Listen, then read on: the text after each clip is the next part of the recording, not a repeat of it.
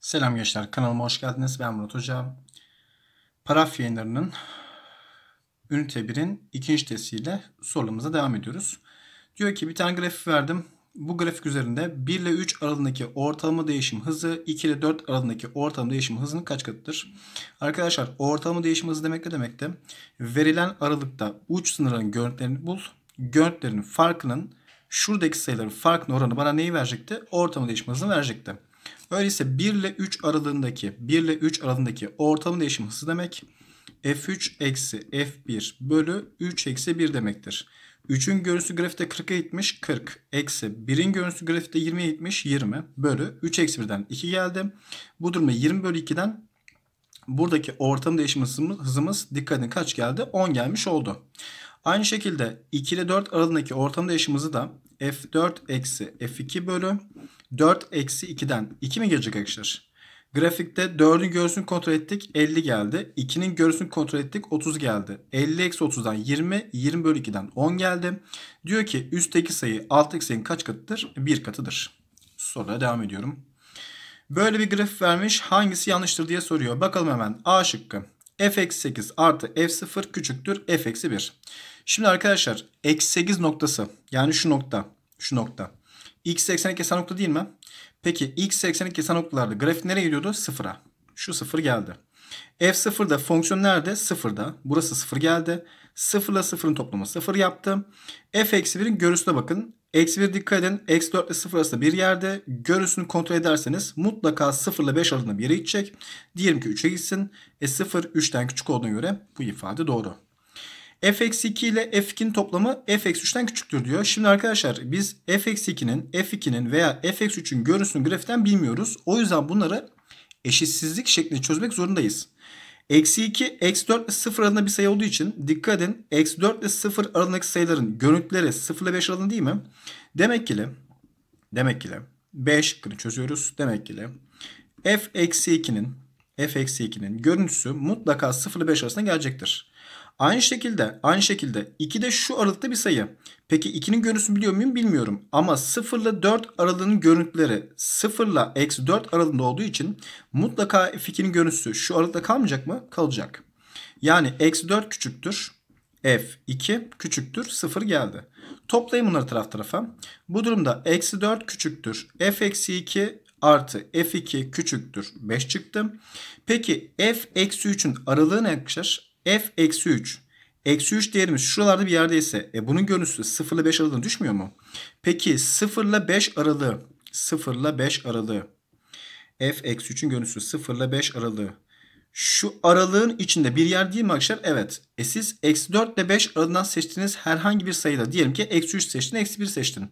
Şuradan mutlaka küçük gelmeyecek mi? Gelecek. O zaman bu da doğru. Arkadaşlar Lafı uzatmadan direkt D şıkkına geliyorum. D şıkkına dikkat edin. Eksi 7 ile F1'in toplamı eksi 6'dan büyükmüş. F eksi 7. Eksi 7 eksi 8 ile eksi 4 arasında bir yerde. Görüntüleri de 0 ile 5 arasında bir yerde. O zaman D şıkkına bakarsak. D şıkkında. D şıkkında. 0 küçüktür. F eksi 7 küçüktür. 5 geldi.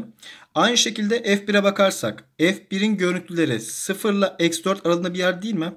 Eksi 4 küçüktür. F1 küçüktür. Ne geldi? 0 geldi.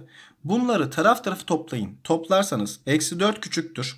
Şu ikisinin toplamı. Şu ikisinin toplamı. Küçüktür 5 olmadı mı? Oldu. E bir de eksi 6'nın görüntüsü kontrol edelim. Peki eksi 6 dediğimiz sayı. Eksi 6 dediğimiz sayı. Dikkat edin arkadaşlar. Şuralarda bir sayı değil mi? Yani bu da mutlaka ne yapacak? Dikkat edin. 0 ile 5 aralığına düşmeyecek mi? E şimdi olayımız şu. Bu aralıktan seçtiğimiz bir sayı 0 ile 5 aralıktan 0 ile 5 aralığından büyük olabilir mi? Olamaz. Bu durumda doğru cevabımız denizli gelir. Devam ediyorum.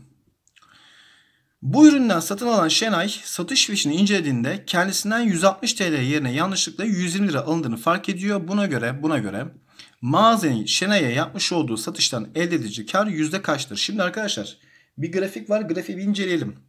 Grafikte bir malın alış fiyatı 30 lira verilmiş. Bu durumda bu mala karşılık satış fiyatı 48 lira verilmiş. Şimdi 30 TL'lik bir malın satış fiyatı 48 liraysa dikkat edin dikkat edin. Mağazaya göre bu kadın 160 liralık bir alışveriş yapmamış mı?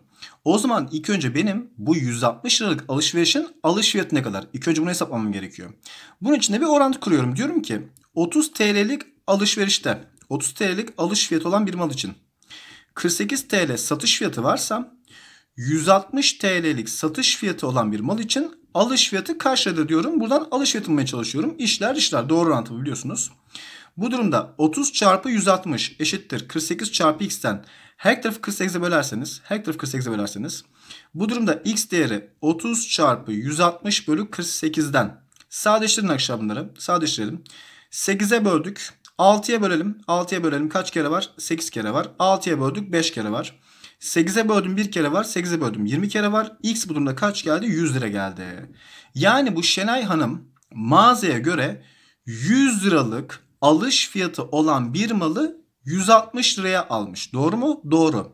Ama bana diyor ki 160 lira yerine yanlışlıkla 120 lira olduğunu fark ediyormuş. Yani mağaza bu kişiye alış fiyatı 100 lira olan bir malı ne yapmış? 120 liradan satmış.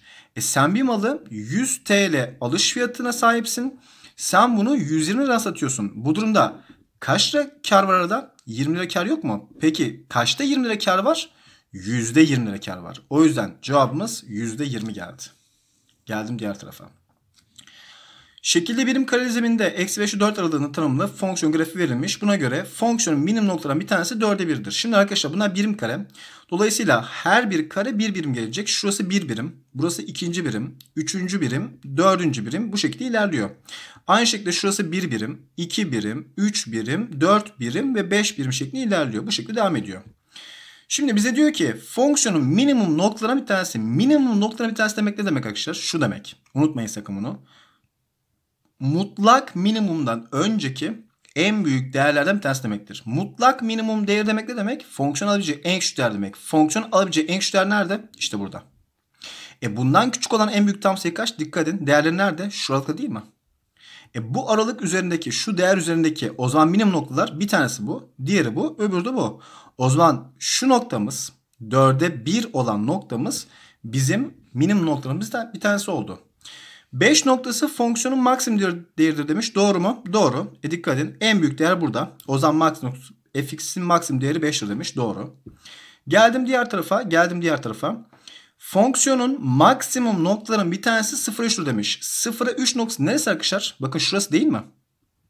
Peki bunun maksimum değerlerin bir tanesi burası mı? E dikkat edin şurada 4 noktası yok mu? Var. O zaman maksimum nokta bir tanesi 3 değeri değil 4'tür arkadaşlar. Bu yanlış cevap 1 2. Geçtim arka sayfaya. Arka sayfaya. Evet böyle bir şeklimiz var. Soru gözüküyor mu bilmiyorum. Böyle bir şeklimiz var. Evet gözüküyor soru.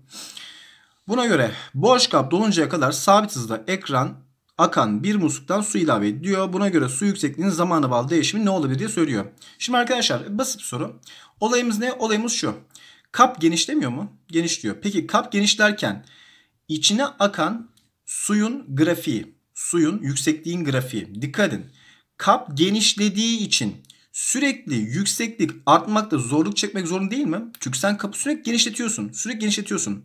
O zaman yükseklik dikkat edin ne olmalı? Artmamalı sürekli. Yani bir artış gösterecek ama yani sürekli hızlı bir şekilde artamaz. Yavaş yavaş artmalı. Doğru mu?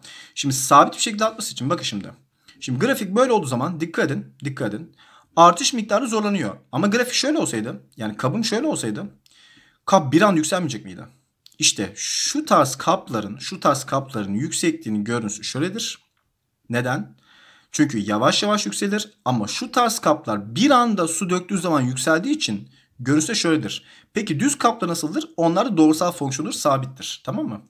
E bu durumda cevabımız ne geldi? Ceyhan geldi galiba. Evet geçtim 6. soruya. Bu fonksiyonun 2'ye 4 aralığındaki ortamı değişim hızı. Arkadaşlar ortamı değişim hızı demek ne demek?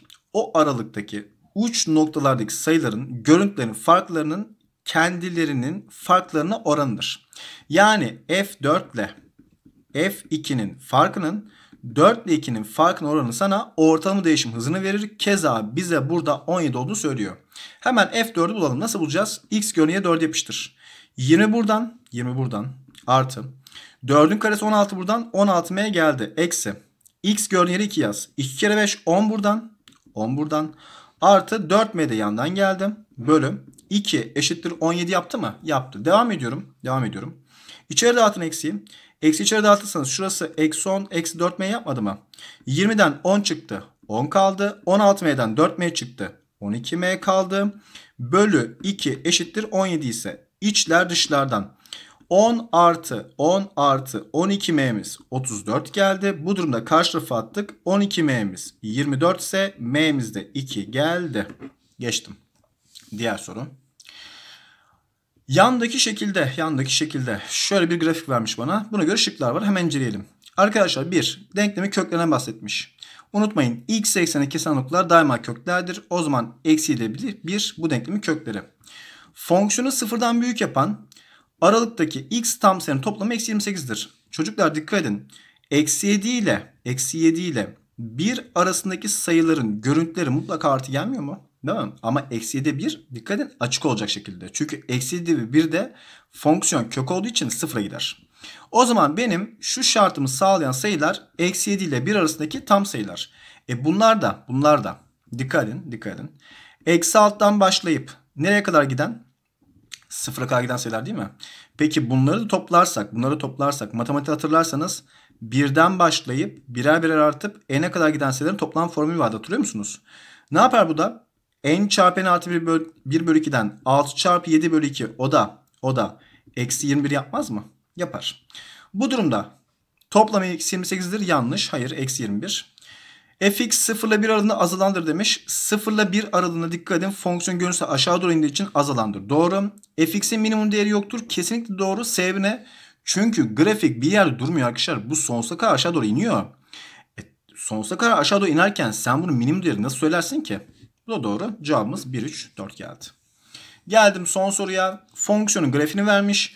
Buna göre grafikte diyor ki fx fonksiyonun eksi 6 ile 0 aralığındaki ortam değişim hızı. Neydi ortam değişim oranı ya da hızı? Şuydu. Verilen aralıktaki uç noktaların görüntülerinin farkı. Farkı. Bölü uç noktalarının farkının oranına eşitti.